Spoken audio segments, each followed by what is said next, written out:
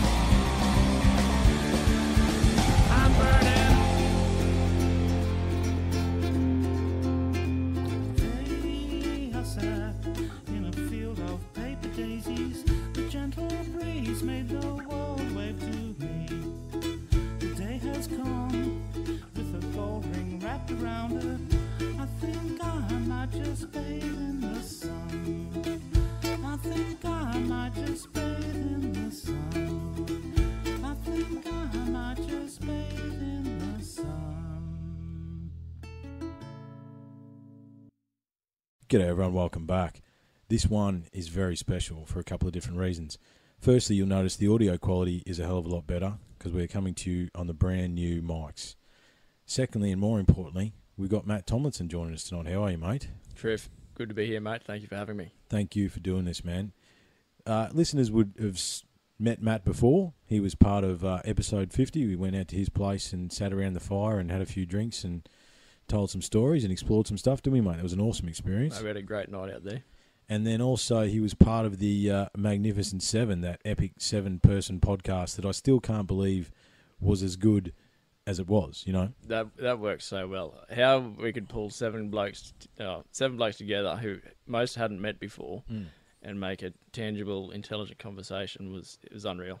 oh, I think there's the respect everyone showed each other, and and some of the topics we dug into Yeah. around a poker table. You know, like fear and love and all that sort of stuff. Like Yeah. it, it was very interesting. Laying it out there. Absolutely. So for those that haven't listened to the Magnificent Seven or episode 50, they're both good ones, aren't they, mate? Absolutely. So yeah, yeah, really good. highly recommend that.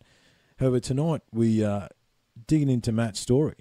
So Matt's decided to step up and represent his people in the upcoming election, and I wanted to use the platform that we've got to let his people know and my people know what you're about, mate. So tell us about Matt Tomlinson, man. Where did you grow up? So I was born in um, born in Beaudesert. Yep. Um, back in 1986. I'm pretty pretty young by a lot of people's standards to be considering politics, but um, uh, it's it's one of those things. I thought it, the the way Australia's going, it, it was now or never.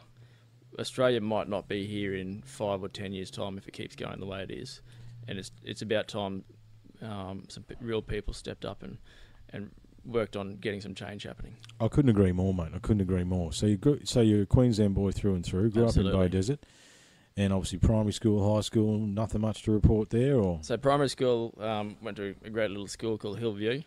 Um, I think we averaged about 28 kids most years.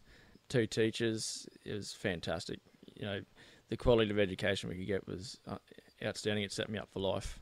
Oh, well, there's a lot of engagement there with that many students and that many teachers. You know, I think that's one of the issues with public schools at the moment is that too many kids and not enough students, and that's a whole different story. However, we can yeah. Yeah. So Hillview, that that'd be that would have been very cool, man. You know what I mean? It was a yeah great location. I I still live. I basically live straight over the hill from it now.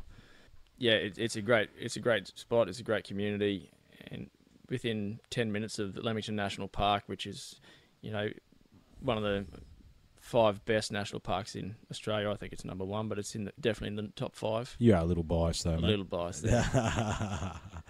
so you did primary school there. Where'd you do high school? And then um, from high school, we jumped up to um, Beaudesert State High School, Mhm.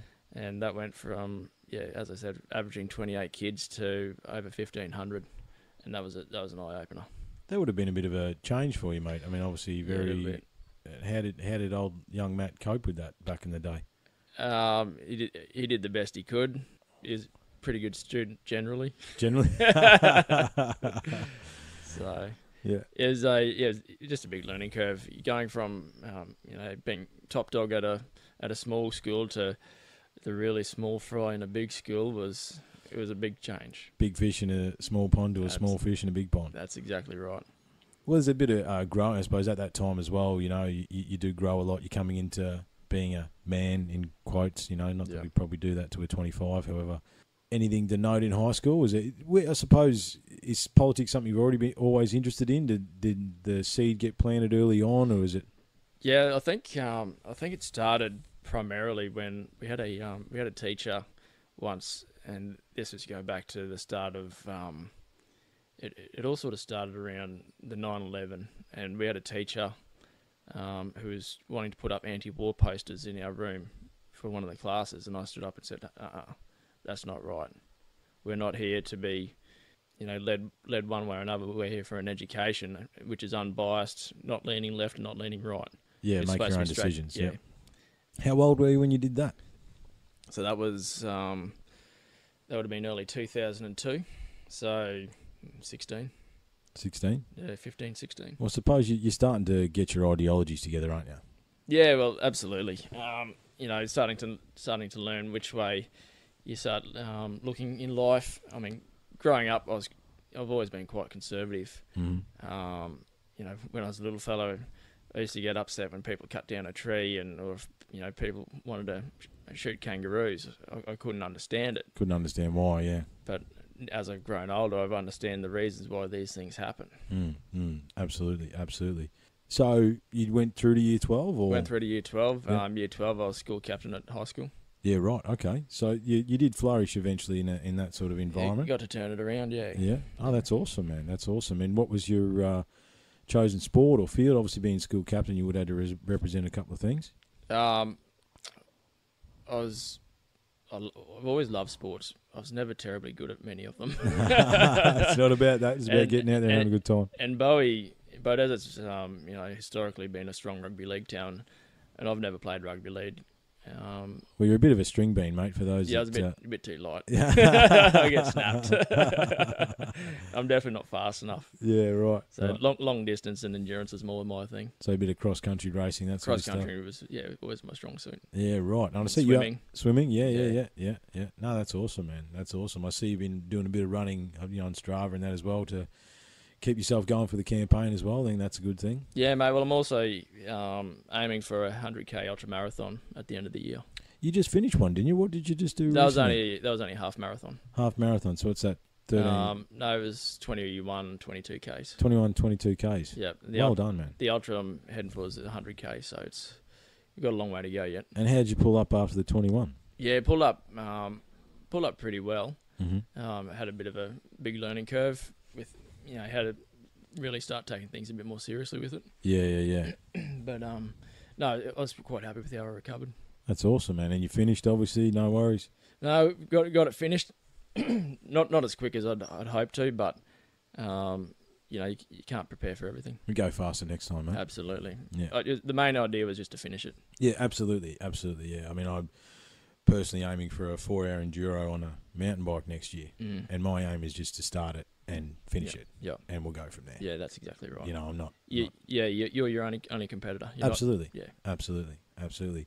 So, where did you go from high school, mate? What's because obviously I know you, you're helping to look after a big property at at Beaudesert Way now. hmm Uh, so, where how did we end up there?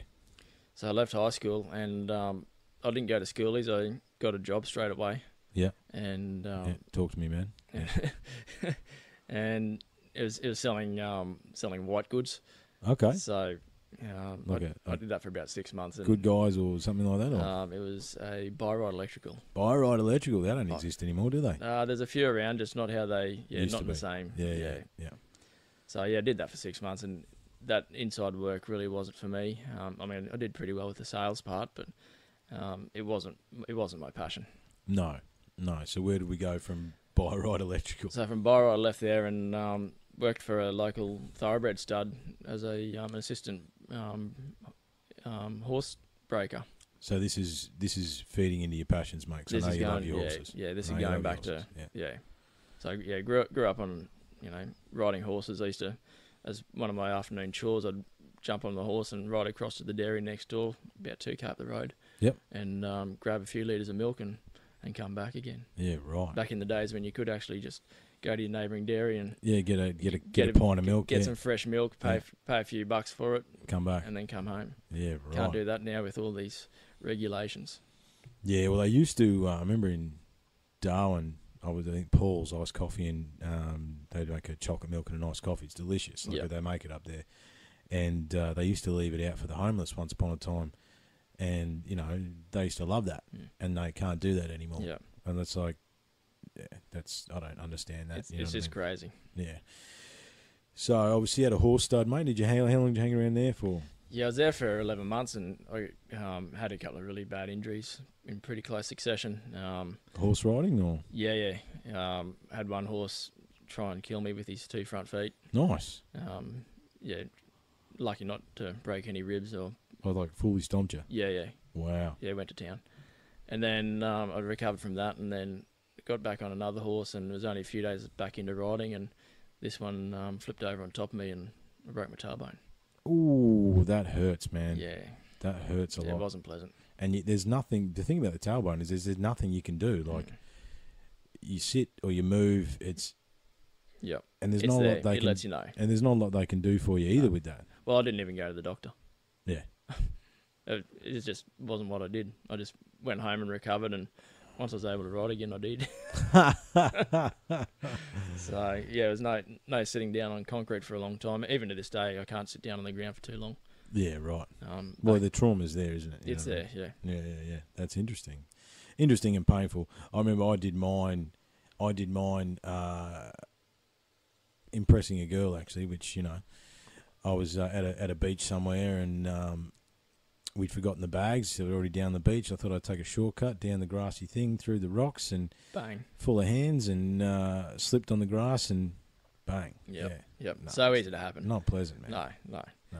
Not fun. Don't recommend it for anyone. No, no. So recovered from that, and where do we go from there? So from there, um, well, I couldn't ride for um, about three or four months. So I ended up going down to Victoria um, with my granddad.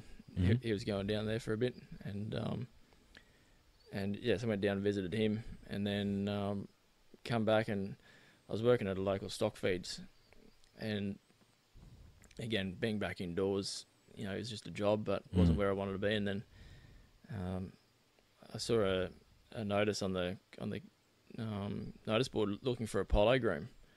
Okay, yeah, And yeah, I thought, yeah. well, I've never seen polo. I better go and have a look at this. Yeah. So I went out to Kooralbyn and and um, watched some polo out there, and w- within the first chukka, I was hooked. I was like, I need to be a part of this. Yeah, right. Do you, do you still play a bit of polo? Do you? Uh, polocrosse. Polo cross. yeah, Yeah, I haven't the last couple of seasons, but I yeah did play three seasons. Yeah, right, right. Yeah, see, I haven't been around horses too much. I've ridden a few. Uh, I, I suppose I'll be honest and say I'm one of those blokes that I, I'll take a motorbike, mate. Yeah. Uh, Some days I feel the same. Yeah, yeah, yeah. yeah, they, they, I think they're, they there's something about them. They're too smart for me. You know what I mean? Like they, I've looked after a couple. Like you, I used to feed a couple when I first came to Brisbane back in 06 and you know I rode one of those um, a little bit. However, yeah, love them. You know what I mean? Yeah. However, it's not. It, my in my upbringing, upbringing, I didn't. I wasn't around them, mate. So Yeah, it's not yeah. like when it's not part of your Mm. culture or part of your structure, it's not something you really think about. However, Yeah. I can I can respect that they're amazing, beautiful animals, Mm. and the guys that the, some of the things I've seen people do on horses is it's Oh, next level, man. So what what's polocrosse? So polocrosse is a um, it's an Australian sport. It's um, instead of having four or six horses like you would in polo, you only have one horse. Okay, Um, you've got a um, and instead of having a team of four, you've got a team of six, which you split into half. So you've got um, three people on in playing in one chukka, mm-hmm. and then a chukka is like a quarter. Yep. And then you'll have a break. You'll come off, and then your other half of your team will go on for the next chukka. oh okay. So, So keep so everyone a bit fresh. You and give your horse a bit of a break. That, that's the main right. aim of the game. Okay, well that's good, man. I and it's like about that stuff. and it's about endurance then. So making sure your horses are super fit and And how long's a chukka? How long's that? um, seven minutes. Okay, so it's not very long at all. So yeah, you, so you play one seven minute, go off, have a seven minute break, and then go back on again. Yeah. So by the end of the weekend, um, you, you'll generally play four games. Okay, So you've, you've you know your horse has been playing flat out for nearly an hour's worth yeah. by the end of a weekend. and So it's intense too. You, you're turning them and you, you, you're giving them hell. a lot of people call it rugby on horseback. Yeah, I've seen it, man. It's Mm, crazy. yeah. It's crazy. Like Yep. I'd, I'd actually like to go and watch a game. I'd, Mate, the the, the um, Polocrosse World Cup's coming up at the, um, after Easter up in Warwick, and it's going to be just off un- the wall. Yeah, off the off the scales. Yeah, right. Unreal, unreal. Australia's got a lot of um, um, we've got a point to prove. We got beaten by the South Africans here last year, Yeah, uh, right. two two years ago. Yeah. So it's it's definitely going to be a grudge and match. it's an Aussie sport. It's an Australian sport that's grown internationally. okay. Yeah. So we'll have um, New So Zealand. to, we've got to give it to them, mate. I mean, let's Oh, be mate. honest. Absolutely, it'd be un-Australian not to. Exactly. And those boys go pretty hard. Like, I'm I'm just a trotter compared to what those guys do. oh yeah, well, the South African boys are good boys too. You know what I mean? Like I've, worked with a few of those over the years. But Yeah. uh, they don't take no prisoners either. No, there's no boys. love lost between No, the no, no. between the two nations. No, definitely not. Definitely not. Yeah, right. That's very cool, man. So, you, so basically, your job as a polo groom is looking after horses in between breaks, or what? What was you doing the, there? the, whole the whole time. So um, it was a six day a week job, um, looking after the horses um, through the week, getting them fit, feeding them, making sure they're all right, and then on the weekends you'd um, start out by grooming for the games. Yep. So you'd just be you know, putting all the saddles on, bridles, bandages, tails. Yeah, and they look make them look pretty smicko. Yeah, too, they don't look they, unreal. They plait the hair and they do all that sort of stuff. I've seen those polo horses; they look unbelievable. Yeah, they look really good. Yeah. So then they go out and play, and the, you know the horse will play their one chukka, or some of them only play half a chukka. yeah, They come back, and then that's their day done. yeah, right. And switch switch out horses, sort of thing. So And then like you a- just have the next horse ready to go. yeah, right. So, so- they, they, these teams have got stables of horses that they just rotate through, sort of. Yeah, thing. so the guys that I was working for, they were um, generally high goal players, and each of them would have 20 horses in a string. Wow. So they could choose their six or eight best horses they wanted to play. for the, what? And does it is it like? Uh, I suppose the only analogy that I can use from my own mind is that you know when uh, I used to I played AFL, I grew up in Mhm. Victoria, so you'd use different studs for your boots. You know what I mean? Different length studs, but I suppose you'd analyse the course of the team and you do use different horses for Different, different. horses, that's exactly right. Yeah, So- right. Yeah, yeah. It, it was very tactical like, in that sense. Yeah, right. Mm. I mean, some serious coin, man. Twenty horses. Yeah, no, it wasn't cheap. Yeah, Lucky I didn't have to pay it. that sounds like a very interesting job. You know what I mean? Like it's and it's. Inter- I love uh, finding out about things that I don't know about. You know what I mean? Like Yeah. I, I've never been to a polo game. You know what I mean? I've seen it on TV, all that sort of stuff. yeah, And I suppose there would have to be someone that looks after those horses Mm. twenty four seven, making sure they're job. primo, top tip top, ready to go. Absolutely. I mean, a lot Yeah. of lot of people think it's just a sport for the royals, Yeah, but in Australia, most of the guys are you know just regular blokes yeah, right. just love their horses. Love their horses. Yeah, Yeah. And look after them. They, you must have to look after them real well because got, oh, they're on they're on show every weekend, so they've got to be looking pretty good. yeah, and tip top, best food, all that sort of stuff. Yeah, yeah. If if your horses aren't performing, they're not if they're not doing the right thing, then you don't get to play the next weekend because no one will hire to come and play for them. Yeah, right, Mm. right, right. So how long were you a polo groomer for? Um, so I did, was involved with polo for um, um, about about four seasons, four or five seasons. Yeah, right. Um, went to go over most of Australia doing it. Yeah, that'd be cool. That'd so, be cool. So See- when we had the um, equine influenza outbreak, there was yes, yes, no yep, yeah there was no horse moving up and down the east coast of Australia. So I actually went across to Western Australia and went um, groomed and played over there.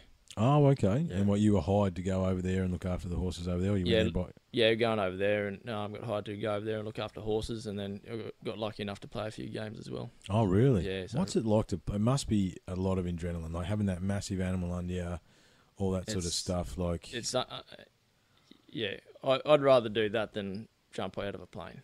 yeah, right. Yeah, it's it's it, that's my rush. Yeah, that's Um, awesome, man. And and I'm a bit of a, um, in the sense that I'm a control freak. I'd rather be driving than being the, the passenger. But with the horses, I'm happy to be the passenger. I, I just Because I- I can realistically, I are, are you uh, are you driving the horse, or is the horse driving you? It's teamwork. Yeah, right. Yeah, So it knows what to do, and you're giving it input to help it along its way. absolutely. Yeah, right. Yeah, I mean, some of the best polo horses and polocrosse horses, you, you're just a passenger. They they they know where the ball is. All you have to do is worry about picking the ball up or hitting the ball. They know where it is. They know where it is. They, They, they're, they're following the ball. they do the rest for you. Yeah, They right. love it. Yeah, right. I Yeah. suppose it's a game for them too. They, absolutely. I think because as I say, I looked after a couple of horses for a little while, about a year or so. You know, the feeding them and all that sort of stuff, Yep. and I got to know those two horses, and they are an unbelievably intelligent animal. Mm. You know, Absolutely. you know they are next Yep. level. They're definitely sentient. You Yep. know what I mean? I, I, got no doubt about that whatsoever. And and if a horse doesn't want to do it, They won't do it. it it's not going to do it. You- You're not going to get the best out of it. no. Um, So you got to make you got to look after it and excite it and make it want to do it. y- yeah, you got to you know prom- help um, excite the horse, Yeah. Make it fun. Yeah, yeah, yeah. Um, because they do get sour pretty quick if you just do the same boring things all the time. Oh, they're moody. That's what I noticed looking Oh, after yeah. these other two horses. If I didn't walk them for a couple of days, or you know what I mean, didn't Yeah. change, you know, like they Yeah. they know. Yeah, yeah, yeah. yeah, no, they're a, they're a funny animal, and I, I think that's why I'm just so drawn to them. I just I connect with them. Yeah, and people do, man. You know what I mean? And you've got to you've got to go with what you're connected to. Yeah, So that would have been a hell of an experience. I mean, you must have some stories from going around the country for five years grooming horses. Is there any any any golden ones you want to share with the guys, or um, probably not. What's what happens on tour stays on tour. fair enough, mate? I understand. Uh, so where'd we go from polocrosse? So from polo, um, went traveling overseas. Um, Where'd you go? I went to Germany and then to Canada. Just uh, backpacking, just doing your own thing, or over there specifically? Yeah, I met a um, met a girl in WA, Yep. German girl, and um, yeah, decided to quit the polo because if the GFC had happened by then, and no one had any money. Pulled, everyone pulled out. Yeah, yeah, yeah, I could, you, you know, the polo scene was dying for the time, so I thought, well, let's go travelling. yeah. Right. And then, Um, I was actually invited to go play in England, okay, um, but I decided to chase the girl instead. These things happen, mate. These things happens. happen.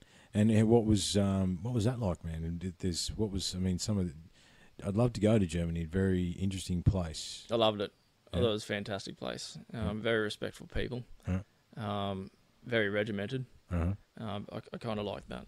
Yeah, absolutely. Well, they make the you know, name it, mate. If it's got made in Germany on it, it's, It's awesome. quality. Yeah, yeah. You know what I mean? Absolutely. Yep. Yeah. Yep. Yeah, who who doesn't want a, a, nice BMW sitting in their garage? You know what I mean? That's exactly right. And- Yeah. And the and the BMW in Germany is just a like a Commodore here. yeah, it's just a taxi. Yeah, yeah, exactly. it's Yeah. nothing nothing special. No, no, no. So where else did you go in? So Germany? Did you do the all around Europe, or did you mainly stay focused around? I, did, I didn't actually do that much traveling around Germany. I stayed around um, just a couple of local areas. Um, I went up to Hamburg and Frankfurt and you know a couple of those big places. yeah, right. Um, but yeah, I didn't do too much. I'd like to go back and actually see more around Europe. There's a lot more places I'd like to see. and so how long were you traveling around? So I did nearly 12 months all up of traveling Yeah. so between Germany and Canada. Yeah. And then we went down the um, east coast of the United States as well from Canada. Oh wow, what's Canada like? I, Loved it. I, all the Canadians I've ever met have been top top blokes and top chicks. You know what They're I mean? basically Australians with a funny accent. Yeah, that's what I reckon too. That's what I reckon too. Yeah, you know what I mean. There's a, a bloke called Jeff. He was my rig manager in PNG. You know, if he rang me and said I've got a job for you, mate, I'd be hard pressed not to just go no worries, Yeah, mate. You yep, know what I mean? Like yep. just 'cause yeah, Yeah, good people. yeah, absolutely, man. Yeah, uh, yep. What what was the highlight of Canada? Uh, the Rocky Mountains. Yeah, I, ca- I, I it's it's the one place like I I love Australia to death, and I don't want to die anywhere else. But if I could die anywhere else, it would be in the Rocky Mountains. yeah, right. It's yeah, just yeah, that's yeah. it's God's own country. yeah. So he's so how long do you spend traveling around Canada? Um, so most of the time in Canada, I actually worked and stayed around Vancouver. What bar work or? No, I was actually uh, mowing, mowing lawns. Oh, really? Yeah, it so was- the Aussie bloke come around and uh, cut your grass, mate. Eh? yeah, that's exactly right. So there's a whole crew. Um, there's oh, there would have been thirty or forty blokes that work for this company. Yeah. And most of them are Australians. Yeah, right. We, we know how to mow grass. Yeah, absolutely. We can take care of the grass, mate. Yeah. So Yeah, right. it was a funny process. We'd come in um, just after winter had broken, and we'd actually um, have this special machine that had cut the moss out of the ground. Oh, okay, because the the moss moss would grow. uh, under the Under- ice. Yeah, under the snow right. and ice. Yeah. So you cut that out of the ground, throw your seed out, grass will pop up, you come back and mow it. And you do that for spring and summer, and then um, Winter comes when and it kills comes it all. and kills it, all, and you start again. wow. So I only did um, spring and start of summer. Yeah. Um, or from the end of winter through the start of summer, Yeah, right. and um, yeah, I enjoyed it. It was good, good physical work. Got Mm. to drive around Vancouver and see a bit. Met some great people. Yeah, right. So were you, was you, were you still with your, your friend at this stage? Or Yeah, yeah, still with her at that stage, Yeah. and um, was traveling around with her. Yeah. and then um, saved up enough money to, to actually go traveling around Canada a bit. hmm So we jumped on a um, a greyhound and um, Did the sight sort of thing. yeah, just went around to as many places as, Did you- we could. Did you do Niagara? Went to Niagara. What's that like? I mean, you see a thousand million pictures of it, but I imagine it's bloody impressive. It's very impressive. Yeah. Um, and I suppose we are Australians, so we've got a lot of waterfalls. So it'd have to take something pretty impressive to yeah, impress just the sheer volume of water that Mm, continuously flows over. mm. It's unreal. Unbelievable. Yeah. What what else? What else was that? So Rockies, Niagara. What else? Uh, went up went up into the Yukon, Uh huh. up in the north near Alaska. Oh wow, Yeah, that's that- something else, man. Oh, that was beautiful country. That was yeah, unreal as well. Yeah, right. um, little town up there called Dawson City, and it, it's like straight out of a western. It's you know timber sidewalks, dirt roads, The whole deal. um, yeah, little bars with um, women with the the Victorian era era skirts, and yeah, right. yeah, so they make it. It's a whole tourist destination. Oh, it's like a tourist yeah, destination. so Yeah, it, right. it was born during the gold rush up there, Yes. and then it's just they're like, hey, gold rush is over. How can we make money? Let's keep it all happening. Yeah, right. Sovereign Hill and Ballarat's very similar to that. Yeah, yeah, Sovereign Hills. Yeah. yeah, very similar. Yeah, yeah, yeah. I, I, I love Sovereign Hill, man. I actually used because I grew up in Ballarat, and in as in primary school, we uh, went there as a class, and I actually spent time there as like the tourists would come and watch us in Yeah, school. acting. Well, we weren't acting; we were Oh. learning. It was actually part of the. We had a curriculum. We got we got graded and all yeah, that yeah, sort of stuff. yeah, stuff. yeah. Gotcha, gotcha. Yeah, Um, we yeah. actually, but however, yeah, it was part of the, and we got, got get dressed up in 18th century clothes, and writing on the slate. Writing on the slate boards, Yeah, yeah, yeah, yeah, yep, yeah. yep, yep. I actually got, and this will be, I'm sure you'll be surprised. I got at the end, uh, at the end of the week, one of the things I got, a, there's a, little, I've got a little, it's a little brass medal I've got somewhere still, and it was like basically the teacher said. He wouldn't be much as a student, but I'd have him as a farmhand any day or so. so the, the classic, I'm not real bright, but I can lift heavy things. You know what I mean? oh, what a great keepsake. Oh yeah, man. Yeah, Yeah. I have to find that. That should, that should be in here. Actually, I have to find that. and, and and memories like that they're so important. It's, Absolutely, you know, it's it's the small things. You don't need you know. Growing up, we didn't have all the latest phones. Like we didn't have phones. No. They were attached to the wall still. Yeah. Oh yeah. Like da da da da one. Yeah. Da, da, da. Oh, I fucked it up. Hang on. Yeah, yeah. go That's start, start again. again. Press press the Yeah, yeah, hang up yeah. button. Yeah. I tell you what, though, mate. And I'm sure you agree with me that uh, I'm glad that uh, we got up to our shenanigans before social media was around. Oh, absolutely. Yeah. Absolutely. we're nice. We're, we're responsible uh, adults now that are trying to do our bit for the community. That's exactly right. Exactly right, Mm. mate. So uh, down, so Canada down the east coast of the US, man. Mm. That must So- be something else. I mean, the US is on my list. It- It's hard for me. I constantly, you know, Europe or the US first. I'm not too sure because I've only been I've only been around Australasia mostly for Mm. work, so I haven't gone sort of north of the equator yet. Yeah. Uh, so you went New York, did you? New York, man. Had to go to New York. Uh, you have to, man. Like you got to, yeah. What was that like? I mean, I mean, especially you, an Aussie country boy, Hillview Primary, 28 people, drop you in New York City, which has got more people. It's more people living in that city than what Australia has. I think. Yeah, something crazy like that. Crazy. Yeah. And it just never stops. Never stops. And uh, not only that, um, we were staying in Harlem. oh, really? And we're walking up the street. We were the only white people walking up the street. Really? No, but no, no, no one cares. No one cares. Yeah. No one cares. Well, the thing about I think the thing about most Aussies, mate, is that we're cool with people Yeah. as long as you. Yeah, g'day, mate. How you going? Mate, as soon as you say g'day, mate, to anyone over there, they're like, hey, and straight away they're cool with you. Yeah. They, Yeah. You know, there's no problem at all. Yeah. Well, it's like a dumb Aussie. Yeah. Yeah, what are you doing here, man? I mean, you got to keep your wits about you. Absolutely, yeah, they'll, yeah. they'll take the piss out if they can, but Yeah, yeah, yeah. yeah. So, what's the highlights? Yeah, did you have a hot dog, mate? I, I always, I just want to go to Hot the- dog, pizza. Yeah. Yeah. Oh man. I had to have those. Yeah. Um, I didn't go in a taxi because they cost too much. I was only a backpacker, so Yeah, I couldn't yeah. afford it. It was Well, it's Subway. only well, you're from Australia, mate. Going for a bit of a walk's not a problem. You know what I no, mean? that's exactly right. Walked walked all the way from Harlem all the way up through to Madison Square and then Yeah. caught the train back. So yeah, yeah, yeah. Oh, you're on the subway. Like yeah, Subway was pretty cool. So um, it, it was actually interesting to have um, like if there's a way to make a dollar in New York, someone's figured out a way to do it. Yeah, absolutely. So there's street performers everywhere. yeah, right. So they'll have um, guys jump on the subway in between stations, and they'll put on a whole act. Some of them will do like Shakespeare, or some of them will do acrobatics in the aisle with the, you know, as if the monkey bars for the uprights where you're standing. Wow. Yeah, it's just And full just on. with the hat at the hat, can you give us a buck, mate? Yep. Yep. If you liked it, tip us some money. If you're not, cool. Enjoy the rest of your day. Wow. Yeah. And my, I, I can't imagine like. You know, it's, I had to find my way into Brisbane City the other day, and I hadn't been in the in the West End for ages. And I Mm. Yep. thought, geez, I'm a bit of a country mouse, mate. You know what I mean? I Yep. sort of travel to and from, come back to Fernvale, and Yep. I hang around out here mostly. Mm. I can't imagine what New York would have been like. Just would have been intense, man. Four days was enough though. Yeah, it was enough. Oh, I I actually had a headache by the end of it from just overabsorption of Just colours and people and noise and smoke and all that stuff. yeah. Yep. Yeah, right. So it was, it was pretty crazy, but yeah, absolutely loved it. Um, saw saw um, Barack Obama Really? when he um, when he So was what there. year was this? Uh, now you're pushing me. It was Barack. Must have been 08 or something. It was, that. yeah, it was 08. I'd have to say it was 08. And um, yeah, so walk along the um, the piers along the river, Mm. and there's there's just a lot of activity. Like there's there's little gunboats going up and down.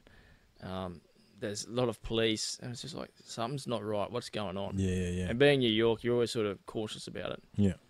And we kept walking and got up onto the um, onto the bridge there, and then all of a sudden, here comes um, Marine One, Two, and Three. Oh, really? The yeah, choppers. the yeah, choppers. right. Yep. So down he comes and lands like on the piers, like where he'd only been 20 minutes earlier. Yeah, yeah, yeah, yeah, yeah. And then yeah, So I got my little had a little ha- um, camcorder at the time. Oh, really? so I zoomed right in to see what was going on. yeah, So right. yeah, that was unreal.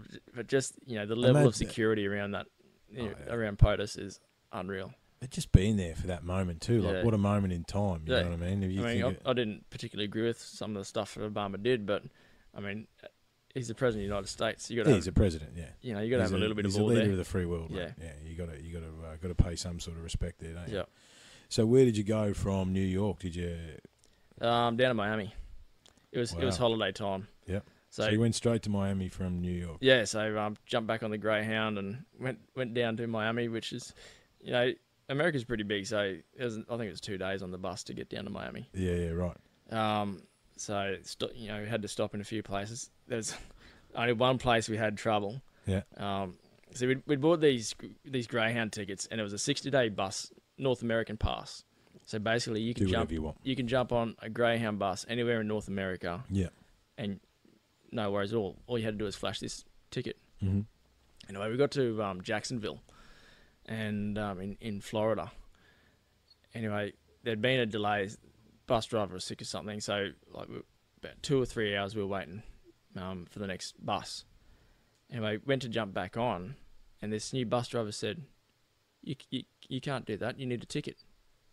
I said, "No, mate. We've just come all the way from Vancouver. Like we've done like eight thousand miles." In a, on a bus using these tickets. doing these tickets, it's been fine. You're the only person that said no. He goes, no, no, you need to go get a printed out ticket.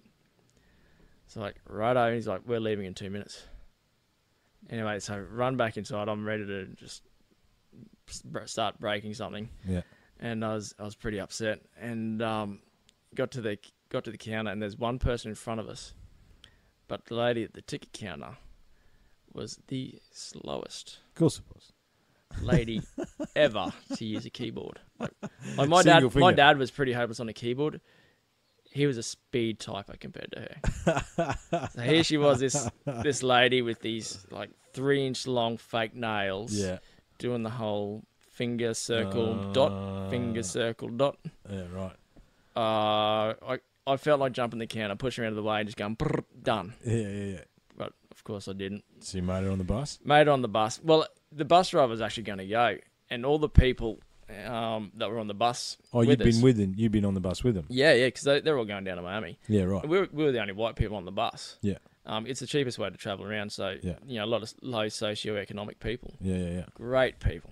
But they, so you would have been knowing you, you would have been chatting to them, and you would have Couple made some them. mates. Yeah, you would have Couple made some them. mates. So like, yeah. Yeah. they're like, "Where's Matty?" You know what I mean? Yeah, exactly, exactly. So th- this driver's want to go, and they're like, "Uh, uh we're not going without them." Yeah. And I was, I was like, "Wow, that's just that's unreal." And that That was a that's turning point in my life. was it really? It was a turning point in my life. yeah, because you you saw the value of a, a connection. Yep. Yeah. Absolutely. Yeah. So yeah, I was I was in huge debt, and like, oh man, we had some laughs on that bus. Yeah, right. Like, yeah, oh, just had to be there in the moment. Yeah, absolutely. Yeah, it's one of those things. One of those times. we I'll, had I'll to be there 99 years old and, and still, still, giggling about get that a bus ride. smile. Yeah.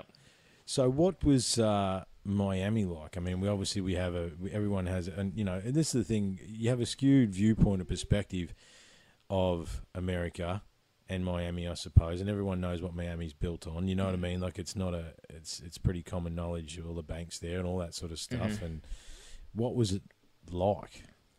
A dirty Spanish version of the Gold Coast. A dirty Spanish version of the Gold Coast. I love it. Right. Um, and I say that because everyone you'd talk to Yeah. would speak to you in Spanish first. Oh, really? To see? No, to- no, no. Seriously, that's what everyone spoke. Yeah, right. Everyone that I come across spoke Spanish. spoke Spanish first. Go to the supermarket, they'd speak Spanish to you. You get to go, no comprende. No, they just swap back English. Yeah, right. Yeah. like, all the Cubans basically. A lot of Cubans, a lot of Mexicans. Yeah, yeah, yeah. yeah. So a lot of Latinos. Yeah. Puerto Ricans. Yeah. Um. So yeah, like it, there's no problem with it, but I just I just don't speak Spanish. Yeah, that's right. Yeah, yeah. No comprende. so like, I had a um like I, I bought a big cowboy hat, of course, yeah. when I was in Canada, and I, I wore that all the way through, you know, New York, everywhere. Yeah, yeah, yeah. And um, it- you know, there wasn't a day it wasn't on my head, and um, you still got it? still got it. That's my workout now. Yeah, right. Yeah, okay. so it's a bit bit battered now. Like she's seen a day, but If that hat could talk, we probably don't need it to. though. yeah, no, it's got some stories that one. I love it so much. Yeah, yeah, yeah, yeah. And um, yeah, I was walking towards the beach and uh, wearing this big black hat, and um, this this big Texan looking cowboy. Like if you can imagine like a Marlboro man sort of image, Yeah. you know, big handlebars, mustache, and he had a cowboy hat on himself. And um, I, I was walking through the car park, and I heard, heard this Spanish yelling out. And like I'm looking around, and he's like, you know, gibbering off in Spanish at me. And I'm like, no comprende. And um, he's like, is that your pickup truck over there, partner? I'm like, no, mate, I'm a backpacker. Anyway, um, he's like, oh, I just saw the hat. I thought that truck might have been yours. I'm like, Yeah. I wish. Yeah, yeah, I'll take it. Yeah, yeah, yeah. So anyway, we got we got talking about it, and yeah, it was, it was cool. Like spoke in English the rest of the time, but Yeah, right. you know, everyone just automatically starts speaking Spanish. And that's the thing about uh, Well, everyone that I come across anyway. yeah, right. But the thing about the um, the pickup trucks over there, because obviously, Mm. Yeah, I know. I remember that the Canadian bloke Jeff. Like we, Yep. we had one of the first V8 Land Cruiser Utes over in PNG, Yeah, and I'm you know I'm frothing over it. Mm. You know what I mean? It's like it's Yeah. how cool is this? He's knees, he's yeah. like, mate, I could drive this Ute into the tray of my Ute. You know what I mean? yeah. He goes, mate. He showed me a picture. He goes, I press a button and there's steps Mm. that come out because you can't. It's- step- it's that you big, It's, it's- that big. You can't like an get F up. six fifty or something. Yeah, you can't yeah. get into the bloody thing. Yeah, You know, they're, they're mad about their trucks Yeah. over there, aren't they? absolutely. Yeah, yeah. They give it give a whole new meaning to the word Ute. Yeah, So how long did you stay in uh, Miami? I was only there for a week. Yeah. but again, that was enough. And then Time to move back on again. come home, or where'd you go from there? Um, back to Germany for a bit and then come home. Yeah, right. Yeah, so. uh, And I mean, there must have been. Well, you've already mentioned one formative experience of getting out of Australia and travelling, like the, Mm. the experience on the bus and those guys looking after you. But there must have been many more that so many. uh, you must have come back a different bloke after. I doing mean, I, that. I um, I've got friends to this day. Um, I was up in, um, we're head, heading up into the uh, towards the Yukon. Yeah. And um, we were camping there, and this um, I was oh, it was a wet day, so we'd gone into the laundromat to to wash some clothes and put them in the dryer. Yeah. Um, spent a few bucks on the dryer because it wasn't going to dry outside. Mhm, mhm, mhm. Those precious precious dollars as a backpacker. Yeah, And um, well, dry clothes. You need clothes. you need clothes, so that's why we had to do it. Yeah. And um, anyway, this bloke walks in, and he, he says, "I like your hat," and he was a Texan, Hmm. and so we just start, sparked up a conversation and and um, found out you know where I was from, had a yarn, all good, right? Well, we might see you along the road. Hmm. Anyway, so we got get on the bus later on and kept going, and we you know we passed them on the road, and they were waving to us as we as we going past, and you know smiling like an idiot. Yeah. Anyway, get up to uh, Whitehorse, and we found out that was as far as we could go on the Greyhound. There's no Greyhound that went further north. Yep. So we were a bit bit bummed about that because we wanted to try and get to this Dawson City. Yeah, right, right. So anyway, got there and um, I decided to go fly fishing. hmm And I was coming back, and um, I was n- back near the hostel, and I, I hear this pickup truck behind me, and it's sort of just slowing right down. Mm. I'm like, what's going on here? Old mate's noticed your hat. and it's old mate. He's seen me. Yeah. He's gone, hey partner, and uh, sparked up conversation again. He goes, so so where are you off to now? And I said, oh well, we're trying to get to Dawson City, but the, bu- the bus isn't going to take us there. Yeah. He goes, well, hell, we're going that way, so jump on in. Yeah, right. So you got a free ride up so to Dawson City. we hitched a ride with him up to Dawson. They Awesome, man. lovely people. So Yeah, right. so. You know, that'd be what we refer to here as grey nomads. Yeah. They just, you know, Just trekking pack around. up their fifth wheeler every year, and yeah, when it got too cold where they were, they'd try and Go and go to the warm, warm Yeah. spot. yep. So But again, and this is this is a key, and obviously, you know, you've listened to the podcast and we've spoken, you know, offline and on the podcast Yep. about this. You be friendly to people, you respect them, you you give them five minutes of your time, they will then pay you that respect back, and that's ninety nine percent of people, regardless of creed, color, religion. It doesn't. Nothing matters, man. Yep. You know what I mean? Yep. You show people respect, you treat them as an equal, exactly. and they will treat you exactly the same way. Because that's that's human nature, man. Yep. You know what I mean? And that's a couple of experiences that you shared there that are a pure example of that. Mm, You know. exactly. So you would have. So you came back to Australia. How old were you then? You would have. I was still pretty young. Mm. Um, I would have been 24, Yeah. 23, 24 when I'd come back. Yeah. So I was still I was still pretty young, and um, and then I was working at a um, at a saddlery, in Brisbane. Yeah. Um, Greg Grant Saddlery, hmm and um, I worked there for a couple of years. hmm I, I survived that long. Like we were living in the city at that stage. Um, didn't particularly like living in the city, but you got to do what you got to do. Yeah, yeah, yeah. Got out of that and started working away, going out west, working on the roads. Yep. So, so by this stage, um, you know, 2011 floods had happened. Yeah, right. Um, All the roads are mass stuffed. Yeah. mass damage across everywhere. Yeah. It's it's pretty crazy. It was unbelievable, man. yeah, yeah. Um, you know, you just can't fathom the devastation. Like, you know, driving back through Brisbane on the first night before even the, the worst of the flooding Hmm. had happened, and there's not a light on anywhere. No, it's, it was crazy, man. My brother was in Fairfield. That's where I was living. Yeah, right. Yeah. And the funny thing was, he had some dodgy people living next door. So, you know, because he's my brother, we normally had a way to get in each other's houses without Yep. a key. You, Yep. know, you know what I'm saying? Yeah, You know what yeah. I mean? Um, however, what we'd done, because he was a bit worried he was working FIFO, we'd actually secured his house. Mhm. So, A, I couldn't get in. And but it, you, you were here, mate. It happened so quickly. Yeah. Um, by the time, because I was in um, Ellen Grove, near Wacol there. Yeah. And by the time I realised that I had to get to his place, couldn't get through, man. Mm. Yeah, all of an uh, um, Oxley was under, like Yeah. it was just a 300 metres of water, man. just happened. Unbelievable, Yep. you know? Yep. Yeah, so, yeah, well, he had, because he was in a yeah two story apartment, it went through the first story sort of chest Yeah. height, Yep. Yep. you know? I mean, the the shops at Fairfield, where the Coles is, they had like a metre and a half of water go through that, Yeah, I know. and that's yeah. not even down low. It's No, it's, up on a little up. rise. Yeah, yeah, yeah. yeah. It's, like, it it- was crazy. the amount of water, it's one of those things, if you didn't see it or experience it, you, Oh. you, you, it's hard to explain. you know, you there's, know what I there was kids doing backflips off the roof of the 7-Eleven fuel station into the water. mean? Yeah. Gotta love Australia, eh? so I couldn't blame him. Like, why not? Absolutely. Oh, life gives you lemons, you make lemonade, mate. That's what happens, isn't it? You know what I mean? Absolutely. So 2011 floods, and you started working down the roads, and uh, Yeah, worked away at um, mainly out around St George. Mhm. Um, so I did the roads down to Dirranbandi and Bandy and then um, out to Bollon, Yeah. um, Mungindi, all those places. Really good, great crew of blokes. Yeah. Um, hard work too, man. You know what I mean? it, it was hard work and there was some, some long days, but shit, we had some fun while we were doing it. yeah, yeah, yeah. Just just a good crew. yeah, you find a good crew, mate. I mean, I say I worked FIFO, you know, 10 years pretty much on, and, on and off.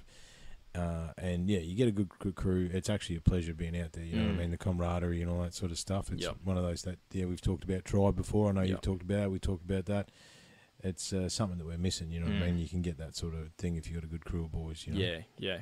I mean, there was um, there was about there was four of us primarily, Mhm. um, and then there's a few others that would rotate in and out. Yeah.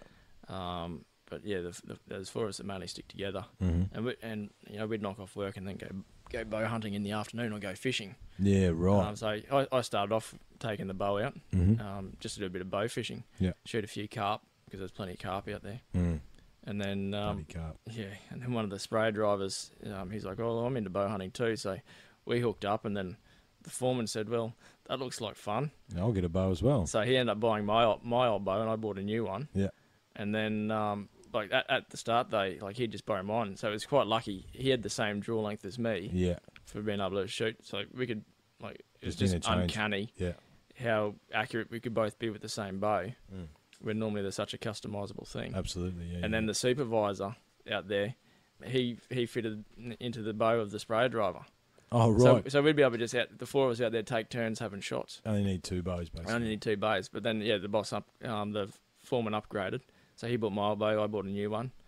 So then we'd go out, um, yeah, we started doing a bit of bow hunting and chasing pigs and goats, and wow. yeah, it was yeah great fun. Unbelievable. So Mm. how long? How long you out doing the roads for? Um, did uh, two years out there. Yeah, right. So we're getting pretty. We're coming up on the years, mate. So Yeah, so, mate. The oh, like the I'm jumping a few years as yeah, we go. no, like- that's fine, mate. you know, that's fine. Uh, So I suppose just to, I can see a diverse range of experiences and all that sort of stuff that you, you're telling us about tonight. Was the, and obviously now you've decided to step up and do your part. Mhm. Along this process, was there thoughts of that, or were you still keeping an eye on things? What, what, what Well, I've always kept an eye on things. I'd always considered politics for something I might might like to try. You know, maybe in my fifties right? when I you know down the track. Um, but it's gotten to the point recently where it's like Australia, as I love it, won't be here. It'll be it'll be gone. It'll be something else, some other connotation, and for you know, I don't have a crystal ball, so I don't know if it's going if that's going to be better or worse. I think it it'll get worse. I think it can get a lot worse. Inevitably, things get worse before they get better, mate. Unfortunately, Well, it, absolutely, and I don't think it'll get better because I don't um, I don't believe whoever if it goes as bad as what it possibly could, there'll be no interest for the people of Australia to be have any benefit. and you're totally right, mate. I think the thing is, is that I've said for years, as far as politics goes, is that you don't vote for the person you like in Australia. You vote for the person you hate the least. Mm, that's it. There's there's really been no one for a very long time that majority of Australians could honestly get behind Yep. and and believe that they are truly for the people Yep, um, and not for themselves. exactly. Uh, and look, there, there's so much evidence to surround that. Mm. So let, let's fast forward, mate. I mean, is there anything? So you're on the road crew. What else do we do after that? Well, um, it was at, at that time um, I lost my father. Yes. Um, so that was that just absolutely rocked my world. From Yeah. had basically just over nearly nearly four months from diagnosis to death. Yes. You told that story at 50, didn't you? I think you I might have. might have touched on it. Yeah, you might have touched on it. Yeah. So yeah, that that rocked me. Unbelievably so. I can only imagine, mate. Can only Mm. imagine. Yeah. And um, you know, an event like that, you know, my father was he was he was my idol growing up. I just wanted to be like dad. And, you know, it's part of the reason why I got into the into the horses so hard is because you know when when dad was a young fella, he was into the horses too. Yeah. Right. So he worked on a thoroughbred stud and Yeah. And you know all that sort of thing. Mhm. I just wanted to be like dad from when I was little, Yeah.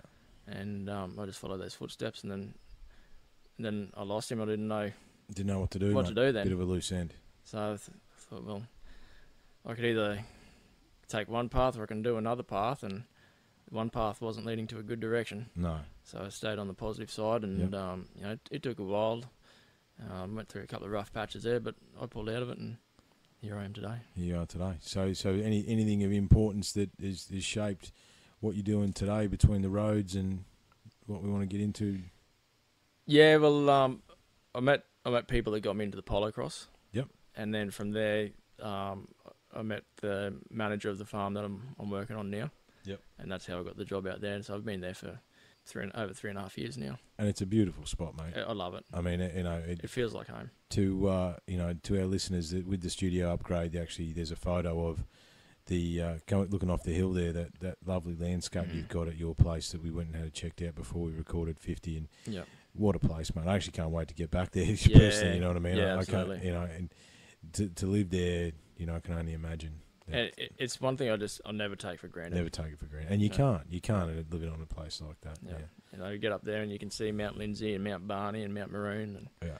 then you go up onto another hill and you can look across and you can see O'Reilly's hmm up in the national park. Yeah, it's just it's a great spot. And must have um, obviously living and working there. It's obviously where you've made your decision to do what you're doing now. Was it the being in the bush and being on the land and that the perspective that that gives you that finally made you decide to? Yeah, Step that, up. that- that brought it home. You know, our farmers are just getting a, a really rough deal, They are, yeah, and you know, I I'm fortunate enough that you know, in my position, it's not a family farm, so we're not affected. You know, we're not as affected if the prices aren't as good. yes. You know, it's not a family's livelihood at stake. Mm-hmm. But there'd be plenty around you But there's is. a lot around. I grew up. You know, there's a lot of families I grew up with. Mm.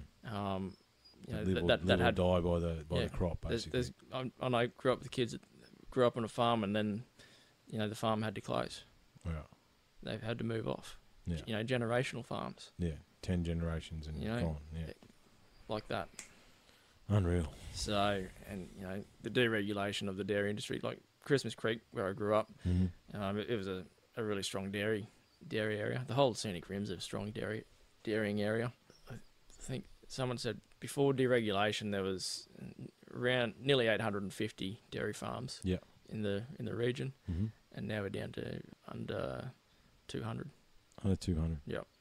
So, what percentage of our milk is is coming out of Australia? Is it all of it still, or is it is this milk coming in? Okay, so most of your powder milks are coming in from overseas, and your UHT milks. Yep. But your your your fresh milk. Your fresh milk's generally Australian, okay.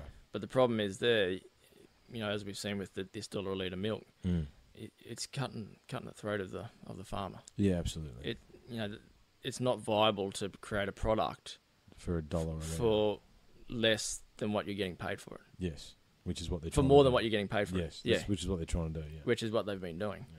I mean, they've just put it up to a dollar ten now, but it's it's nowhere near enough. At at inflation rates, we should be paying for for to be fair to our dairy farmers, should be a dollar fifty a litre.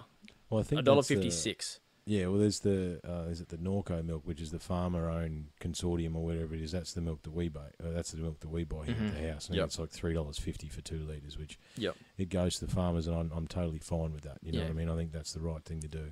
I mean, you know, the- the money, the dollars are going back to the farmers, but the big problem with some of those other companies, like Norco, is Australian farmer owned, Mm-hmm. but the likes of your Pauls and your dairy farmers, they're actually owned by foreign companies. Well, So we, we've sold off most of our foreign So- assets. Yeah, so- most of our Australian companies. Yeah, so that's that's the processor.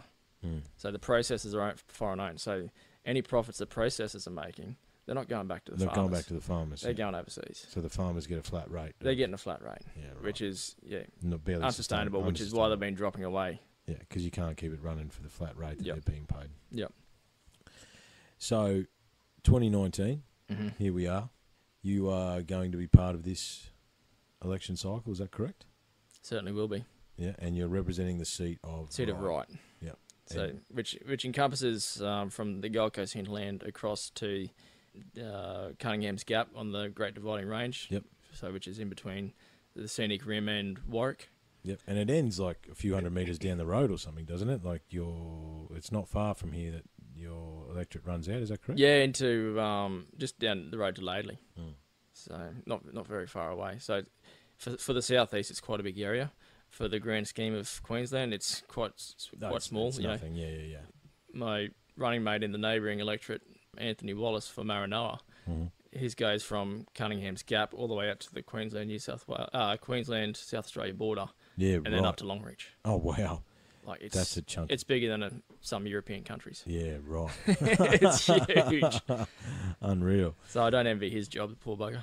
So you chose to run with the Party, hmm and what was what was the decision process behind that? Is it because they're more of an independent party, or It's it basically come down to I, I read through a lot of the party's policies, and I'd always liked Katter.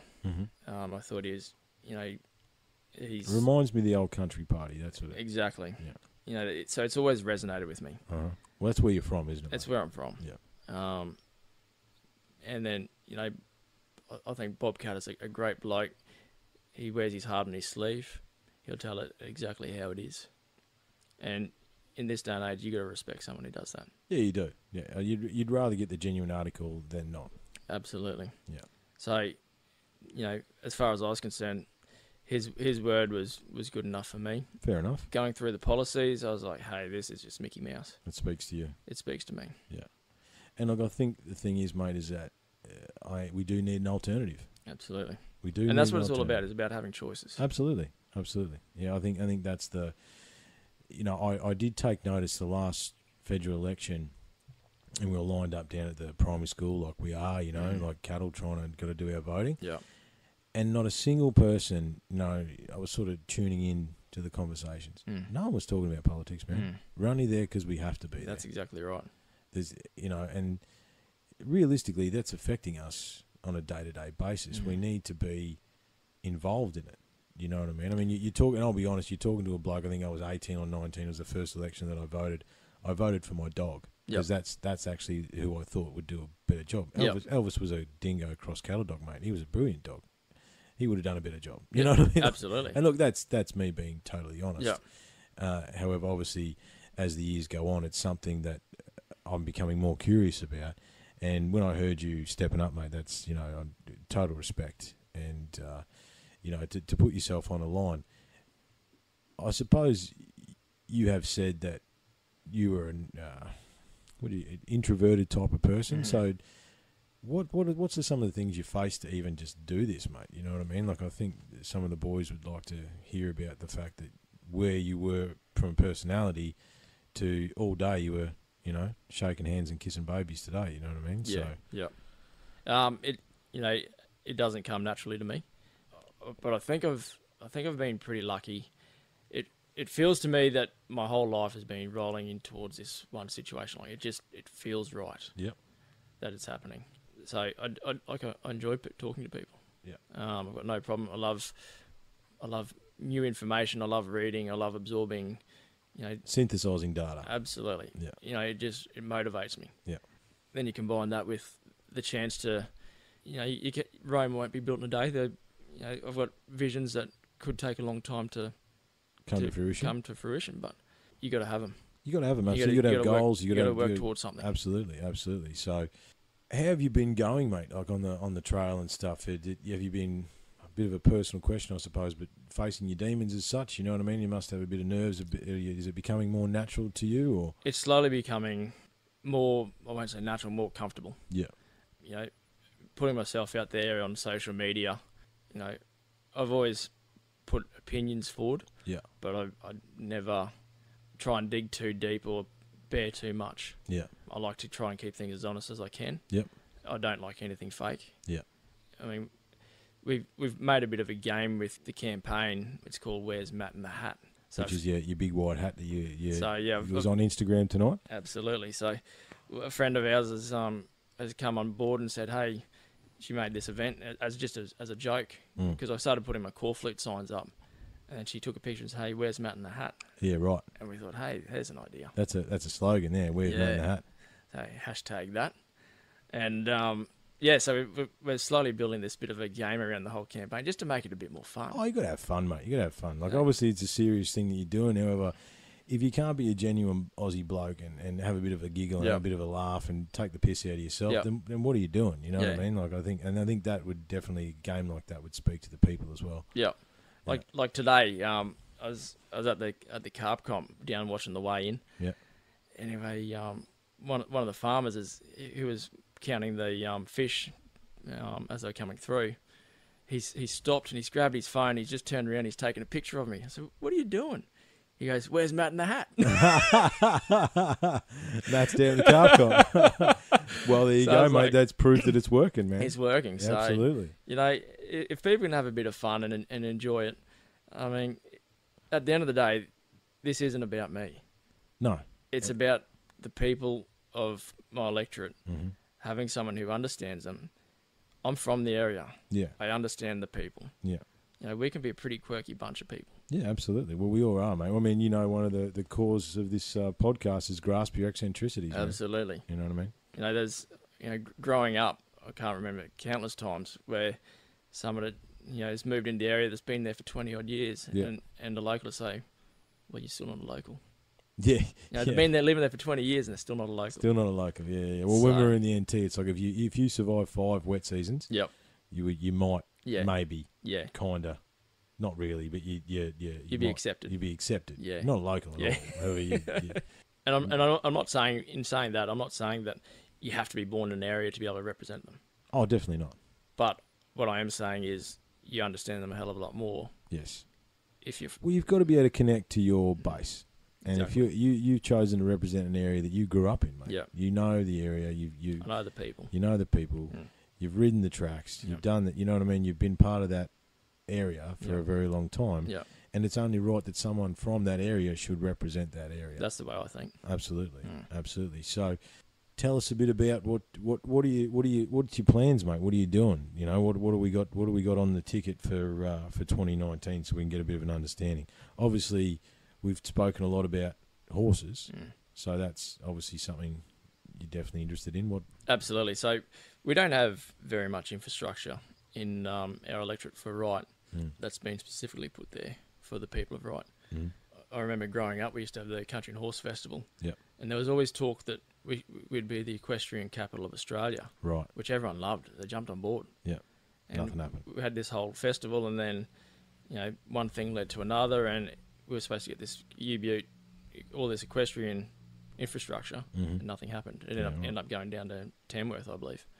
So, and then it, it was all, the whole, and the GFC then happened, you know, a couple of years after that, and it all sort of fell away. Yeah. But we're building it back up. The equestrian numbers now, like every second person's got a horse. Yeah. I mean, in the outer areas. Yeah.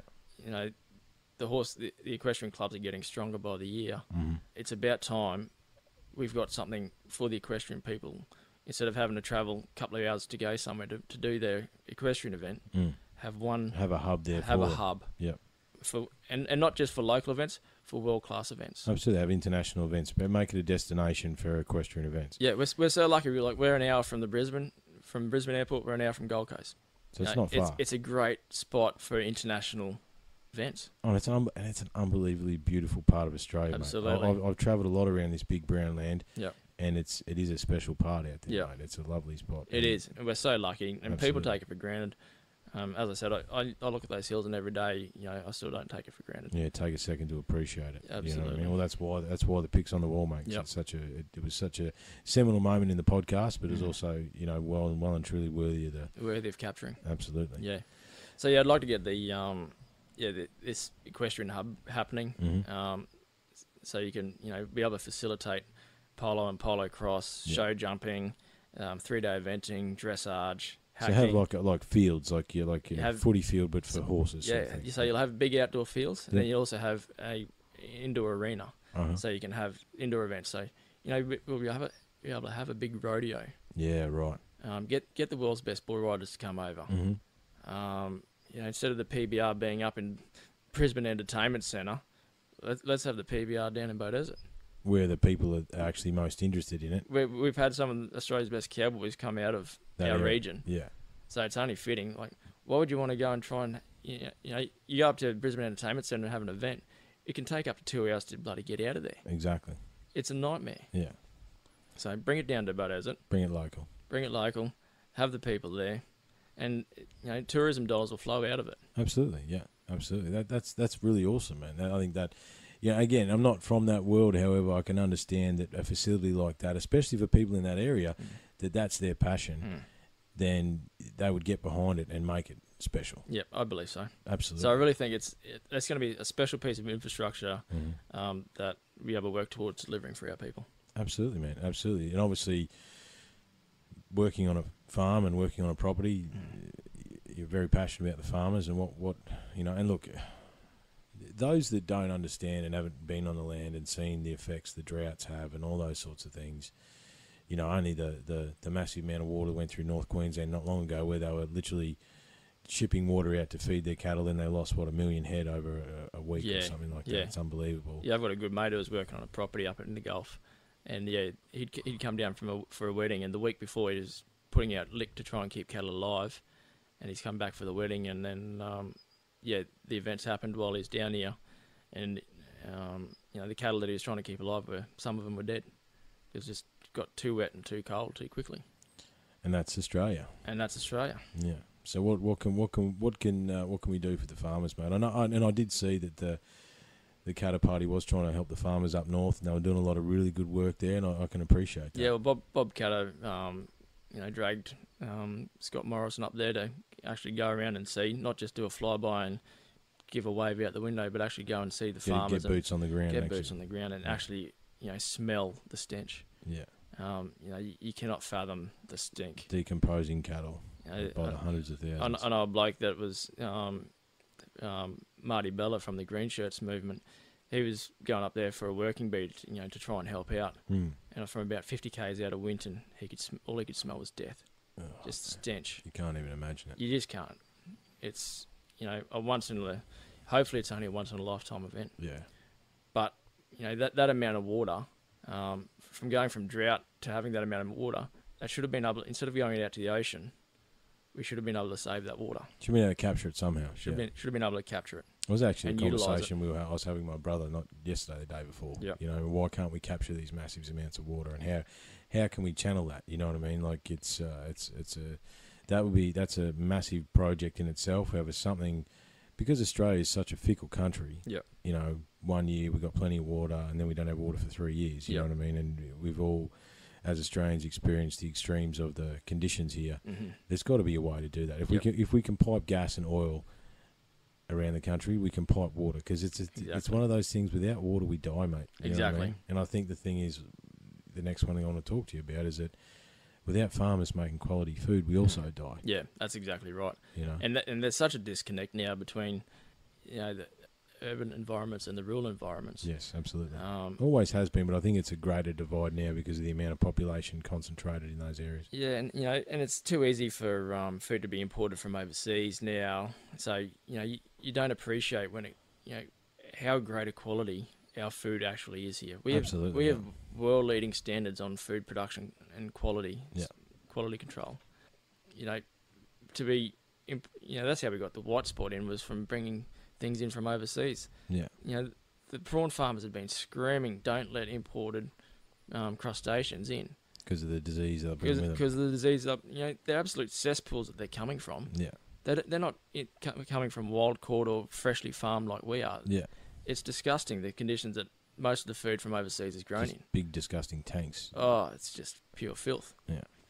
And I think it uh, is it really is it just a quest to make a bit more of a dollar, mate? You know what I mean? Is it uh, the, the people they make more money bringing stuff in from overseas? well is it's, it's all bottom part of this neoliberalism of corporations owning everything and Yeah. you know making dollars monopolies. Yeah, and it's it's disgraceful and what the- we should be, what should be working towards is actually having instead of Australia being a you know global leader in mining, we should be a food and fibre superpower, which we could be. which we easily could be. Yeah, we could be both, and this is the thing. You know what I mean? I don't think we are in a unique spot Mm. in Australia where we could actually look after ourselves if we wanted to. We We, have everything within our borders: food, fuel, you know, mining, minerals, everything. Yep. We don't necessarily need anything externally. Exactly. However, you know, in in the quest to line the pockets of people, they've Mm. decided to, you know, it, it's in a lot of even mining, mate. I mean, that's something I was in for a while.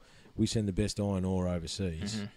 and then get shit back for it. Yeah. You know what I mean? Like Yep. it's it's it's just it's terrible. You Exactly. Know what I mean? And the the so the farmers, mate. What can we do for these guys? You think more a conglomerate like Norco, or do you, what do you think is- is the way forward to help these guys out and get it get it in front of in front of more people? I think it's awareness. I think is the issue. I think the way forward really is to um, it, it's not to be going t- towards massive conglomerates, but keeping it families. Yes. You know, families contributing together. You know, what what they make, put chip it all in together to make a, a gross amount of product. Yes. Yeah, Um, so you're saying like three or four farms getting together and and uh, ensuring their product is understood, the quality is understood, and getting it to market in that manner. exactly. So th- there's that little co-op, and Yeah. you know, communities grow around that. Absolutely. And I, I strongly believe, and this is a message I'm trying to get across through my campaign, is strong communities equal a strong nation. Absolutely, they do. And I, the problem is, I think at the moment is we've we've lost sense of community. You have. You know, I think I was, I was discussing, we were talking to my brother the other day. We had quite a long discussion about a few things, and Mm. you know, when we were kids, man, in Ballarat, you know, we'd play on the street. There'd be a cricket match in the middle of the street. We'd, you know, the barbecue would come out, and the whole neighbourhood. You know, you, you, Yep. didn't have to worry about going away because the neighbour would look after your house for Mm. you. You know what I mean? You played with the kids in the street. You know, like it's we don't do that anymore. No. You know, I think the technology that's allowing us to have this awesome conversation is one thing. However, Yep. it's also sort of tearing us apart as we Yeah. as we've spoken about. You know, it's, it's isolating us more. And the, one of the things we are missing is community. Mm. You know? Absolutely. and, and embracing that Mm. community. You know, I mean, even in Ballarat, I remember well, that was sort of country back in the eighties, still semi. You know, there's a guy that used to come round in a truck, and he had fresh fruit and veg that used to come round Yep. and uh, deliver the fresh fruit and veg, man. Yeah. Yep. You know what I mean? I mean, and there's there's a guy up in North Queensland. Um, um, he's an immigrant guy, and he's been doing it for nearly thirty years. Every fortnight, he packs up his truck and does you know a couple of thousand kilometres on a trip through all these bush towns, delivering fresh fruit. Yeah. and you know that's, that's the lifeblood of those communities. Absolutely. That they don't have a shopping centre down the road. No. You know, most of the time it's the pub and the post office is the bank is the general store. Yeah. All in one and there's- building. There's, X amount in the general store, and that's it. Yep. That's exactly right. Yeah. Um, you know, th- those, those sort of people who go drive three or four hours to a, a bigger town Mm. And they'd buy a one month's big worth. shop. Yeah, one big shop. Yeah. Yep. Yeah, absolutely. So you think co-ops is the go, mate? You think trying to get the farmers to get get a community together and promote their product? It, it's you know it's such a fine balance. You got to be careful with co-ops too because then they they can become greedy as well and then try and undercut each other. Yes. The big problem is is when people aren't happy with their their fair share. Yes. They're trying to get more. Yeah. Um, and you know, How do you combat that? I mean, is it a resource issue? Is it making sure quality of resource? well, I don't think socialism's the answer. No, I don't think so either. that's that's not a conversation for now. No, definitely not. Um, uh, look, someone someone um, brought brought up um, about live export, and it, I hadn't thought about it. Um, they said, "Oh, well, you know, do you understand why live export happens over to Indone- the likes of Indonesia, while we ship our cattle live?" And I said, "Well, they don't have very good refrigeration, from what I understand." He goes, "Yes, that as well." But he said they- they've got an industry beside in, in Indonesia beside the live export where so that our cattle would get shipped over there, go to an, a um, big feedlot. Then all the small farmers around that area will cut their bits of grass or their cane or put their scraps together Yep. and go and sell it to the feedlot to feed the cattle. Oh, so it's supporting another industry. It's supporting another industry in their own country. Ah, We're not doing that here. wow. We're not trying to look after our little guys. No. That's the problem. yes, right. They're trying, you know, we're t- too busy trying to kick them in the ass, get rid of them, so someone else can make an extra dollar. yeah. It's not right. No. And well, communities, uh, little things make big things grow, mate. Absolutely. Every every. Yeah, that's how we've gotten to this point. Yeah. Is you know, we, undercutting each other. Yeah. Um, initially we all you know was working together. Everyone was having a fair wage, and then then people start getting competitive, and Mm. you know it's just leads to disaster. That's very true. That's very true. So, mate, I think I know one of the, the the next thing that we want to chat about is the environment, which Mhm. I know is something you're very, very passionate about. Yep. Uh, and it's something I'm very passionate about as well. You know, I grew up riding through the bush, and you know, it's it's something that uh, is unique to uh, our environment in Australia. is very unique, and it needs to be looked after a little bit better, and needs to be managed better. Absolutely. So, you know, one thing I always thought our national parks, growing up, you know, I've, I've always loved them. Mm. Love the bush. Absolutely. um, and I thought they were pretty special. But then once I started going overseas, I was, you know, I realised how mismanaged they actually can be. Mm. Um, and I, you know, I'm really starting to push the idea of a. Um, I'd, I'd like to see less crown lands as such, where land is actually locked up, um, and and left to be, Yes. um, which in turn creates fuel for fires, and that's why we've been having such devastating fires. Absolutely. I'd like to see more opened up. Mm. Um, and I'm not talking about just opening up and letting loggers come through. No. I'm not saying that at all. No, opening up for the people. Opening up for people to be actually u- use and base this I mean, off. that's the thing. Like, I know there's a. You, you, how much does it cost to put a fence around some of these national parks? And Well, they're what are you- huge. what are you doing that for? You know what I mean? yeah, And like as you say, wildfires and stuff like that are a massive issue in Australia. And I, I spent a long time up in the Northern Territory, and you know, you know, I was there for nearly you know, eight or nine years, I think. In the end, every year, the uh, Indigenous people up there Mm. they backburn. Yep. And the NT government lets them backburn because guess what? They've been doing that for tens of thousands of years. And you never hear of massive wildfires in the Northern Territory, do you? no, that's exactly right. because it's part of the uh, The ecology of the, system the, ecology system. of the system That's needs exactly to be right. burnt off. Whereas you know, like as you say, they locked the forests, locked the national parks up in Victoria, and then we had Black Wednesday and Black Saturday, You know, and like that's eh, you know, what 150 odd people died. something like that. Yeah, and it's just because it's not managed correctly. You know, this this green ideology where it's like oh, hug a tree, you know, it's it it doesn't work. Oh, look, It- hug it makes- trees, man. However, look after the tree. You got to look after the tree. Yeah, you can't just leave the tree. You can't just let it keep dropping its leaves year after year and then Mm. having a, a build up of a meter plus of, of fuel underneath it. Yeah, that, that, that was the, that was some of the numbers that came out of that Black Saturday or something. That Mm. wasn't it? They measured the foliage was up to one and a half, two meters deep in Yep, some areas. In some areas, and Yeah. you know, th- there's no natural grass growing underneath that. no, It's choking the the system out, so it isn't actually good for the environment to, No. to have that much. It's not natural. no. Um, and and one of the funny things is, if you go back through the diaries of the early explorers, we have more trees now on our land than what has ever been in the past because you know First Nations people used to burn, and that'd clear out all this you know all, a lot of the suckers trees. coming yeah, through. exactly. Yeah, So yeah. it used to be a lot more open. Mm. Um, so people saying, "Oh, we don't have enough trees. We need more trees." It, you know, Australia wasn't all one big bushland. No. Most of it was like grassland, Mm. which was what encouraged the pastoralists so much. It's like, "Hey, All these Look- prairies, pretty much. Yeah. look at this grass to feed our sheep and cattle." Mm. Bang. Mm. And then they planted the trees and well, they, And well, they- and they just let them go. They didn't do anything. and then they start, you know, trying to manage it like they did in Europe, and that doesn't work because Australia is so unique. and it's a diverse environment. It is. It's such a diverse environment, and and people don't understand that. You know, you can, you know, there's places in South Australia and WA where you can drive literally from the rainforest to the desert Yep. in five hours. Yep. That that's no joke. Exactly. You know, and Yep. and and through that you pass scrub, you pass bushland. Mm. You can go through every single eco- ecological profile Yep. in a five-hour drive. Well, even on the um, three and a half thousand acre property I'm on, there's three different types of environment on there. So you go from your, your scrub country, your rainforest style country, Yep. through to your dry eucalypt forest, Yep. down through to your, your alluvial flats. Yeah. So there's three different you- in the space got- of three kilometres. you've got three. Yeah, in the space of three square kilometres, you've Yep. got three different ecologies. Yeah, and each one of those requires its own. different methods of management. Absolutely. Yeah. So for you can't just blanket manage the whole country. Each area has to be looked at specifically. Yeah. Um, and it's not just about fires as well. You know, the amount of feral animals that are growing, that are booming in national parks. We are losing so many of our native um, critters, Mm.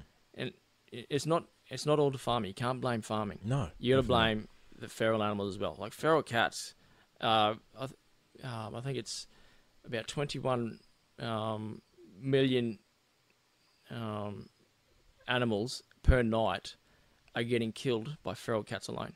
21 million So that's little insects, um, amphibians, reptiles, birds, all that sort of stuff. marsupials. Yeah, the little cool marsupials you know here. those those cats out there, they're they're big enough to take down a wallaby. Aren't they? They're roaming in packs as well out west, aren't they? These cats. You, you can trying to light up a tree out in places out west, and you, it'd be nothing to see three or four different sets of eyes.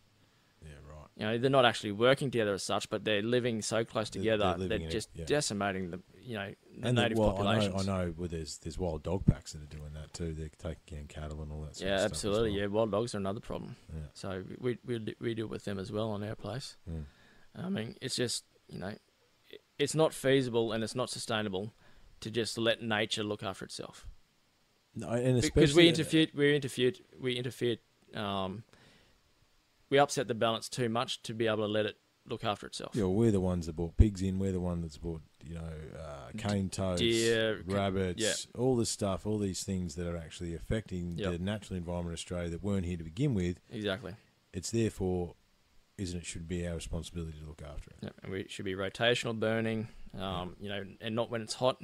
Burn when it's cold, like when it's cooler. Yeah, yeah. Well, that's they burn in the dry season up north. Yeah. You know, I mean, they. I was reading the other day they've started burning in places because the humidity is high enough that it'll burn cool. yeah, It right. won't. It won't get away. Yeah, right. Um, Because 'cause it- there's a whole heap of temperature and variations you've got to take into account when you're doing that. Yeah, well, they, were- they were doing that because they knew the rain was coming. So if they got to burn now, they'll actually get some grass growing. Yes. So you know, that's management. Mm. We've got to listen to our indigenous brothers and sisters Yes, absolutely. when it comes to that. totally, man. You know, we've got to look after them all. yeah. Um, we can't take them for granted. We can't keep kicking them in the guts. No, and and they have knowledge of this land. Absolutely, it's passed down from generation to generation. Yeah. So it's it's an absolute crying shame. Oh, it is. Uh, I've got. I can totally agree with you, and obviously these animals as well that are they need to be managed as well. Yep, and I think, absolutely. and that, that's that's a sensitive issue because you know we've Disneyfied our animals with Bambi and bloody Peter Rabbit and all that Yep. sort of stuff. However, you know, as I remember when the, there was the rabbit plagues and stuff in Victoria when I was a kid, it was Yep. unbelievable. Like the amount of burrows and just just fields of rabbits, man. Like you couldn't. It's something unless you've seen like a mouse plague or a Mm. rabbit, or you don't even understand. You can't fathom it. You can't fathom it, and they, they, you know things like that need to be controlled and they Mm. need to be understood, and obviously that means engaging hunters. Mm. Exactly. That that's part of the solution. Yeah, Um, I'm not saying that you know completely open up and just let people go and guns are blazing. That's not the answer at all. no, definitely not. But controlled, regulated hunting Well, is definitely a tool and understand the population. conservation. Yeah, understand the population, understanding what, how much uh, the bush or the forest or that Mm. ecology can take, Yep. and keeping that population to a manageable level. Because we have a lack of predators in this country, and that's the problem. Yep. You know what I mean? We don't of natural predators. Natural predators, Yep. exactly. We don't have a mountain. We don't have the thylacine anymore. No, that's You know, right. the quol's en- endangered. Yeah. they're getting taken over by foxes, cats, and dogs. Absolutely. Yeah. And look, we've had a, a couple of those little marsupial, little like mouse things with funny ears around Mhm. here. Yep. You know, we had a couple living in the roof, and Yep. I, I I left them alone. It's Yeah. like once I realised they weren't mice, I was like, nah, you leave those. That, Absolutely, that they're supposed to be there. yeah. It shows a healthy ecosystem when they're there. Yeah. Yeah. Yeah. and and that's the problem. Um, you know, so that's what I'm really pushing towards. You know, scrapping the the crown land model and, and basing, um, you know, basing something off the North American public lands model, Yeah. where you know people can go out and enjoy the backcountry. Um, it's we, we should we should be utilizing it. It's a resource. People travel all over the country. We've, Mm. we people travel up and down the east coast. Let's give them a few extra places to go. Absolutely. Give those small little towns on the way there tourism dollars. Absolutely, because these towns are on the back of the national parks. They got you know there's and the Aussie outback and the Aussie bush, mate. There's so many places. If you just do a little bit of exploring, there's so many jaw dropping places that you could take tourists to that they, they, people don't understand. Yep. You know what I mean? Unless you've explored the Aussie bush or been out there, you don't know. No, that's exactly right. And that, and you know that's one thing I love about the Northern Territory is they employ so many Indigenous rangers. Yes. Whereas down here they're more greeny rangers. Yeah. You know they've come through They're keeping you out. universities They're where they're keeping you out. They're they- not. They're that's not exactly actually. right. They're not actually. they're not managing the land. No. you know we implement baiting as part of our control of wild dogs on the property. Yep. So we'll we'll get sixty baits for our three and a half thousand acres. Hmm. Um, the national park up the road, which is uh, I think it's nearly twenty thousand acres, Mm. they get six. Six. Six. If you're gonna have a pack of wild dogs, that's where they're gonna be. Exactly. That's why we keep getting new dogs every year because they're coming out of the national Of course parks. they are. So and then you know we've got deer coming as well from the uh, main range national park to our Yeah. west. Yeah. You know I'm I'm talking to farmers who you know they reckon within ten years they're going to be all the way across the scenic rim. I mean I'm already seeing them in, in a lot more parts than, than what I've ever seen before growing up. Yeah. Right. Um, they're, they're sneaking red, up the red rivers. tail, aren't they? Red deer. Red deer. Yeah. Um, there's, there's a um, there's red deer. I haven't seen any fallow yet. uh-huh. Um, and there's um, as well. Yeah. Again, though, a uh, a, a, a prey animal Mm. with no predator Yep. is just going to proliferate. Absolutely. You know, I'm, I've spoken to a farmer in the last two weeks. He's like, "Oh, I keep getting this fence that keeps getting destroyed. I can't. I've got no cattle in there. I can't understand." And I said, "Well, probably got a deer there, mate." And he, he went and had a look, and yeah, sure enough, there's these deer tracks. Deer tracks. Yeah.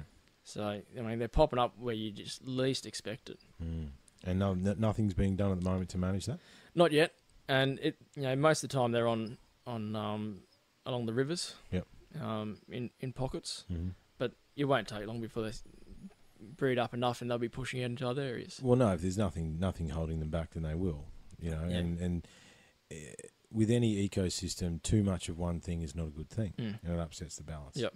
You know. And then we've got the problem with you know with the hunters. all all our pest species are g- declared as pest animals. Yeah. So any means to kill them, they're getting d- destroyed. Um, so you know the hunters get excited and say, "Oh, we're part of the conservation," Mm. but then we don't want the government to go, "Hang on, well, let's go and bait or kill all these deer." Mm. It's like, no, no, no, we, we don't want you to do that. It's like, well, it's a pest animal. Shouldn't you want us to do that? And it's like, no, no, let us do that. So I think we've got to step up and say, utilize us as a conservation tool. Yes. Um, you know, you, the likes of your deer, they're here now. Mm. We're not going to be able to get rid of them all. No. They're a beautiful animal. Yeah. And you know what? They taste amazing. Yeah, they're pretty tasty. So let yeah. let's upgrade them from a pest, um, from a pest animal to a game animal. Yep. Implement a tag system. Yep. Um, that's going to um, create dollars. Yeah. So what we could do is, like in North America, what they've done is they've got the Pittman Robertson scheme. Mhm. So for your taxes, they they got um, I think it's about similar to what our GST would be here on firearms, Mhm. on ammunition, on bows and arrows, on backpacks, on hiking boots. Yeah, it's like ten percent or something like that. yeah, to on anything that would be outdoor related, on your fishing gear. yeah. You know, on every item, ten percent of that goes back into the Pittman Robertson Fund, Mm. which funds their wildlife conservation programs. It funds their game wardens, who control them. You know, they're the park rangers basically, Yep. Yep. and that's why they've got such a strong ecosystem. From when on the start of the 20th century, Mm. they were on the verge of having no large-bodied wildlife Yeah. on their on their country on their continent because they'd been shot out to market hunting. Yeah, right. But once they had the Pittman Robertson system underneath it, they're they're managing They're the managing it. population. So each year, you know, there's there's a tag system. So the animals will be, you know, if there's a lot of animals, they'll let more tags. If there's less animals, there's less tags. Mm. And then you know each area is under control of a, of the game wardens, local um, game council. Mm. I mean, we've got a great system down in New South Wales and um, in Victoria as well, where we have the game um, game licensing unit. Mm. So you can sit a sit a test and get your game license, and um, they've opened up state forests for these um, licensed and regulated hunters Yeah. to be able to actually go into state forests and take care of these pests. Mm. At the same time, it's driving tourism into the areas around the state forest. Yeah. It's saving the government an absolute bucket load from having to hire helicopters and sharpshooters to come in, and Yeah. you know that's not the most humane way. No, it's not. And, and unfortunately, the mainstream that's the sort of stuff that they see. Yep. Whereas a lot of a lot of hunters uh, would happily pay an extra ten percent to not take out of the, a current pot in order to, you know, a lot, even outdoors people. I mean, Yep. I'd be happy any outdoor equipment, anything I bought, you know, the stuff that I buy, I'd be happy to pay that. if that's what it was. That's what it was for. I mean, that's basically what your fishing license in New South Wales for. It's it's exactly the same thing. yeah. You know, we've got the stock impoundment permit scheme up here Mm. For our freshwater lakes. Yeah. Um, you know, it goes back into that system. Yeah. We just need to apply. We need to apply that to the land. Yeah. You know, it all works in together, and you'd be surprised at how much money we'll raise in no time at all. It'll be self-sustaining. Absolutely. It'll be user pays. Yeah. So it's a win-win. Yeah. Well, it's the same up in Arnhem Land, mate. You've got to pay to go into Arnhem Land. Yep. You got to pay, you know, you got to pay for a permit every Mhm. three months, whatever it is. Yep. And you happily pay to Mm. go and see some of the beautiful spots in Arnhem Land. Yeah. You know what I mean? You go Yep. there, you know, it's it's and it's well worth it. You Mm. know, and it's the Yep. same thing that that employs the indigenous rangers and all those sorts of things that Exactly. take care of the land. Exactly. And it, it it makes very a lot of sense, you know. And I think it's as you say, a bit of a greeny centric, you know, hug the trees thing. However, people need to understand it from a different point of view, where this is actually looking after the land. Mm. You know, That's what it's about. And it's, and it's about utilising the land. absolutely, yeah. What's the point of having all this land locked up that no one can go and enjoy?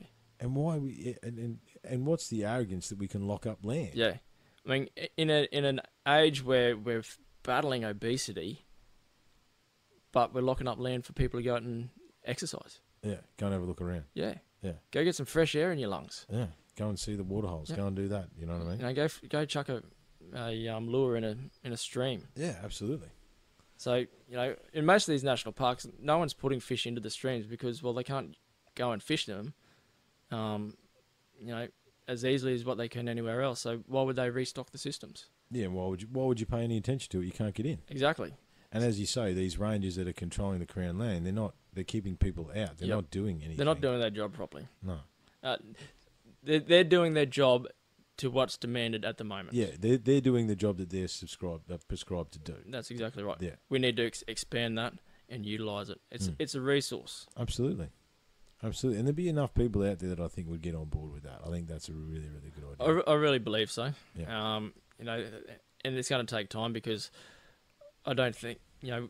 There's going to be a lot of stakeholders that we'd have to discuss it with. Mm. Um, you know, looking into a lot of different angles to you know t- just to cover all the angles, make sure it is going to be beneficial Absolutely. to the people. absolutely. Um, you know, rock climbers, hikers, Mountain bikers. mountain mountain bikers. You know. You know, Yeah. it's it's not just about hunters and fishers. It's no, absolutely, mate. You know, open those horse lands up, I'll be in. There, I'll be in there on my mountain bike, mate. Yep. Don't you worry about that. Exactly. So, I mean, it's can't understand why no one else is looking towards it. They probably are, but they're not being loud enough on it. I'm certainly going to be loud on it if I um get elected. Absolutely, and I think it's a, a worthy issue, It's a- and you know, something that uh, is close to my heart as well, mate. I remember being a kid, and when they put the big highway through where I played in the bush, you know, it's like what's what's going on here? The destruction, and you know, I, I couldn't understand it as a small kid. You know, what I Yeah, mean? Yep. It's um, yeah, very important. You know, when we've got um, vegetation laws where a farmer can't clear a, a tree break, you know, on a state on his boundary to a state forest or a national park, yet a developer can come in and knock down prime koala habitat here in the southeast corner. Yeah, You know, that's a bit hypocritical. absolutely, absolutely. We're going to finish on a bit more of a sensitive topic, but it's a, it's a tool of your trade that you use every day.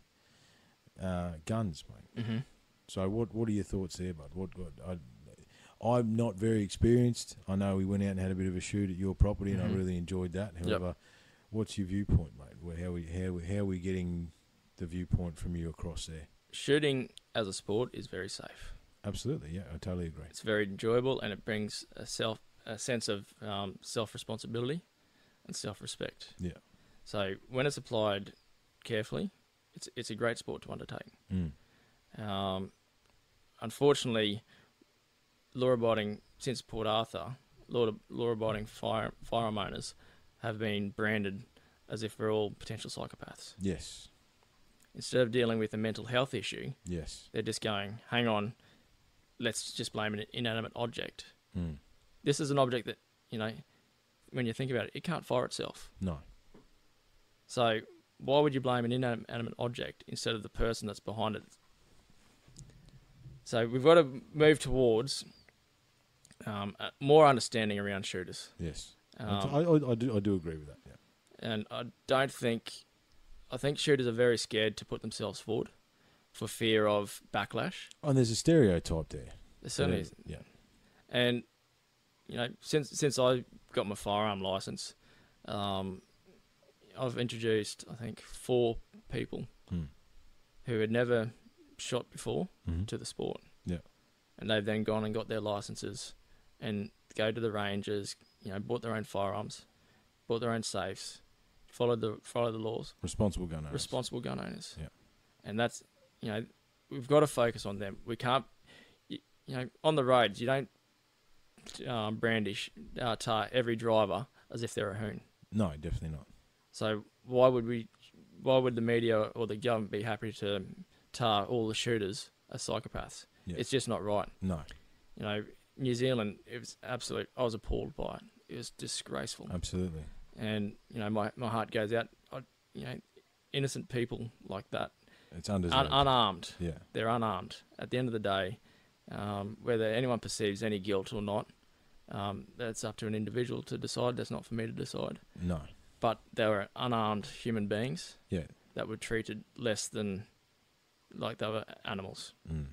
That was disgraceful, and that is not the act of a sporting of a shooter, no, sporting shooter, law-abiding firearm owner. no. That's a Because- that's a that's a that's that's a it's a gentleman with uh, some issues, and uh, th- there's that is not the way forward at all. Well, he's a political terrorist to Absolutely. start with. Yeah, You know, to the way he's released his manifesto and filmed it, it wasn't a it wasn't about a, a Muslim thing. no, It was a political thing. yeah, He said that in his statement that was about creating as much diversion as possible, division as possible, Yeah.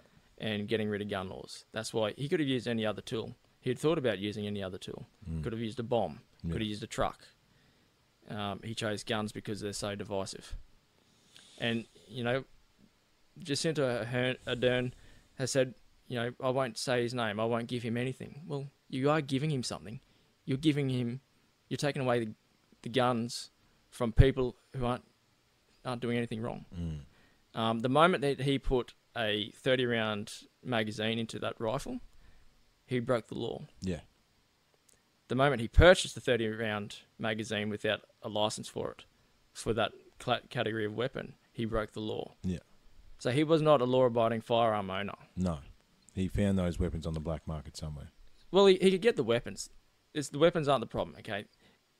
The, in New Zealand, they could have up to a, on a category A license, you can have a semi automatic weapon with up to seven rounds magazine capacity, Right. which, you know, it it's not very much. No. over in the blink of an eye. Yeah. Um, but he's gone out and bought, I think it's a category E um, magazine, which is a 30 round. hmm So he had the straight uh, magazines, then he had drum magazines as well. They he wasn't licensed for them, so straight away he's a criminal. Mm. And then killing people, that's that's a criminal act. Uh, one of the So- highest. You know, m- murder's been illegal for forever, Yeah. but people still do it. Yeah.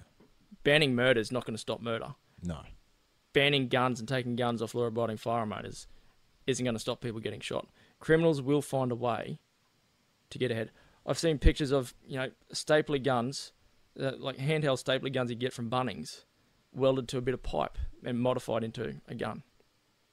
They're going to find a way to do something illegal if they're that way inclined. Yeah. So the problem's with the person; it's not with the inanimate inanimate object. Right. So Australia's, you know, we've got the um, National Firearms Agreement. It's it's absolutely disgraceful. It was it was it was rushed through. Um, it was led by the the greenies on the left, who uh, you know, Gun Control Australia, dancing in the blood of, of victims. It you know, it's absolutely disgraceful. It doesn't make sense. Um, so we've got to, we've got to scrap the National Firearms Agreement. We've got farmers, you know, living hundreds of kilometres from towns, who need a Category H um, which is a handgun here, um, to you know, as part of the daily tools. Yeah. I mean, I carry a rifle because that's what I'm allowed to do. Yeah. But out there, it's not easy to carry a rifle in some of those places, so they'll carry a handgun Mm. strapped to their hip, no Yeah. problem. Um, you know, it doesn't fire unless they actually pull the trigger. No, that's true. Um, so what the current law is for handgun owners is they've got to go and um, do competition shoots Yes. at a, gun, at a gun club. Do six, I think it's six a year In per order- in order to category hold their license. of their. Yeah, that's right. So it's just not.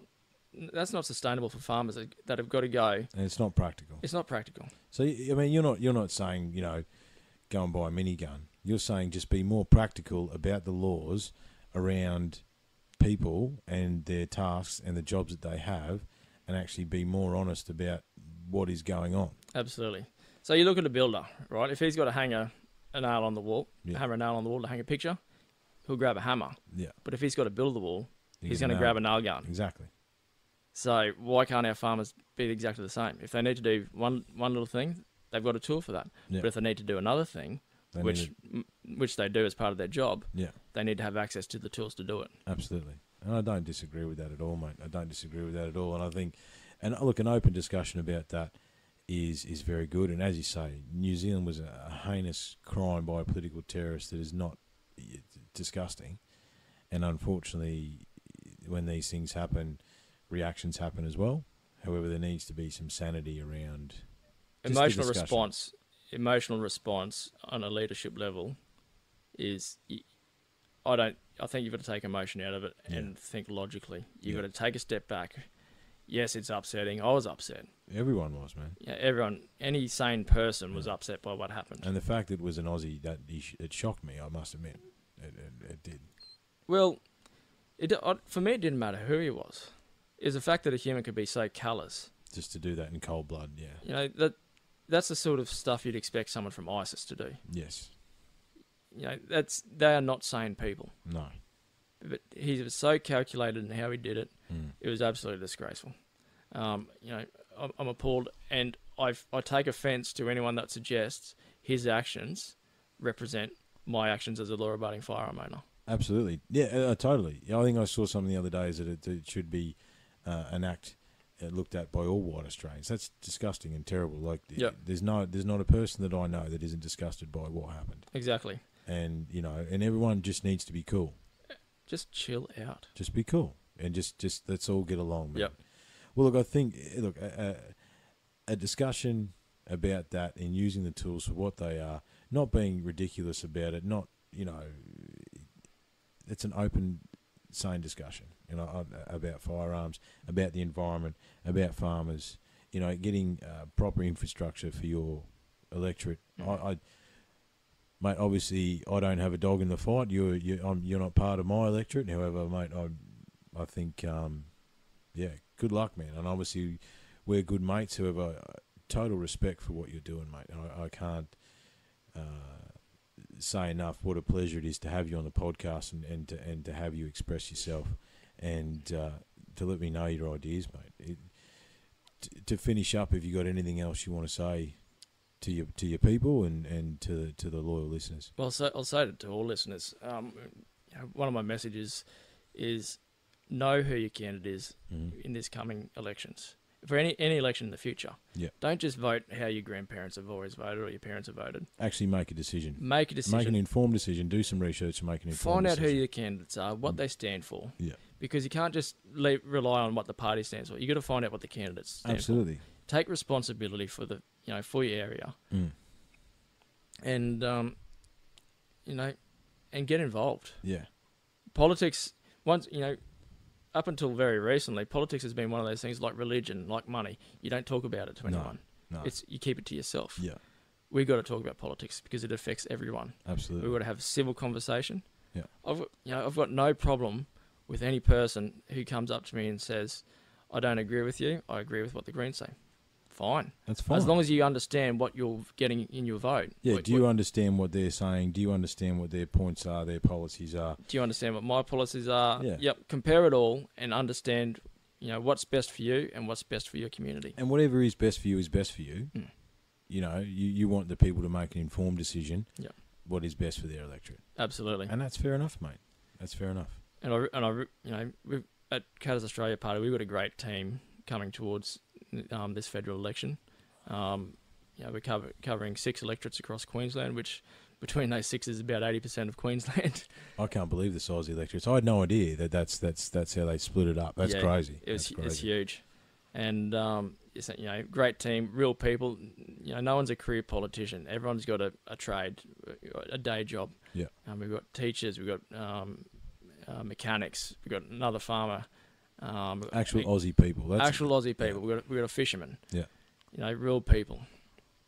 And um, you know, what you see is what you get with us. Yeah. Have a look at our website www.kap.org.au. Yeah. Look it up. Look up our policies. Yeah, look, if, and if, if, if there's a, a a candidate in your electorate, make sure you give them j- just due diligence. I think, mate, is is, is all you're Absolutely. asking. That- just that's all I awareness. can ask. Just awareness. Just Yep. understand who we are, what we stand for. Mm. Go look at the other candidates as well. Find out who. who Well, you have to, mate. I think that's it's, it's about education. It's about education. If you, if you want to be responsible and part of your electorate, you need to give everyone uh, uh, their due diligence so you can make an informed decision uh, to to see what's best for you. I think that's the reality.